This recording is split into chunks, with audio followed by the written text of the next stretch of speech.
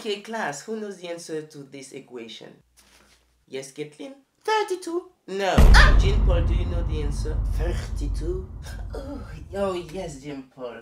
Correct. That's what I said. No, you said it wrong. Jean Paul said it correctly. What? Second equation. Yes, Raphael? 24. Wrong. What? Jean Paul.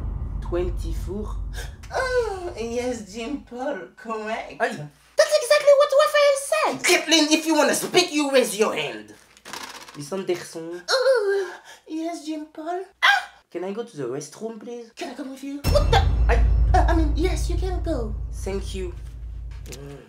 Miss Anderson. Oh, it's on the. Miss Anderson, What you want? can I go to the restroom too? Can